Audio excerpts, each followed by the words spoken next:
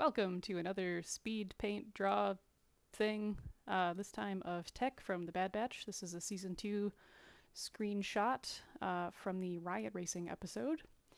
Um, I love the expression on his face. Um, it's the things that make give him the expression that he has uh, is actually uh, not terribly extreme, but it's still very effective in communicating kind of this surprised grimace, I guess.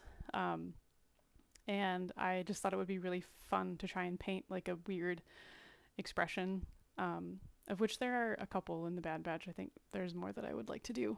Um, but I also really liked the the dramatic ish lighting uh, in this entire episode because there's bright sunlight and we don't often get that in the Bad Batch. Um, normally it's in a, a dingy interior or um, a dark forest or, or on the Marauder. There's not a lot of times when we get like really good lighting on members of the Bad Batch. So one area in particular that was challenging on on this half hour speed paint was the the the areas behind the lenses of the goggles. That yellow lens that he's got makes all the values um, and the colors behind the lens like almost like really close to each other and very the same.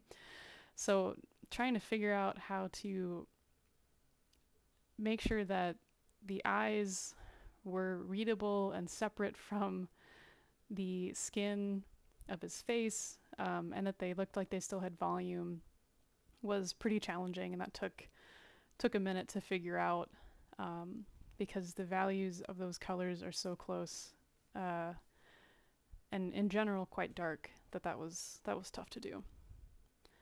Um, I also spent a little more time on that shadow on the top of his head that has a very hard edge and then kind of turns into a gradient as it moves away from us, um, which is like one kind of shadow that I'm not very good at. So it was fun to be able to practice that. This is actually a screenshot that I painted before. I think I gave myself an hour the last time. Um, and I just wanted to do a quick one this time since I'd done it before.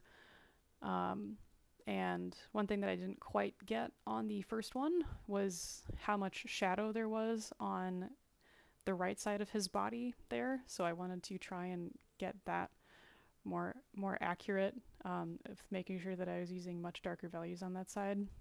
Um, painting his armor was kind of fun because I just would lay down some gray and then bring back the color of his armor.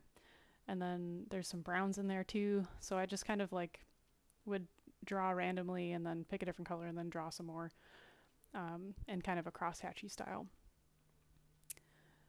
So again, did this in 30 minutes. Um, it's pretty fun to draw these animated characters. Um, and here's tech.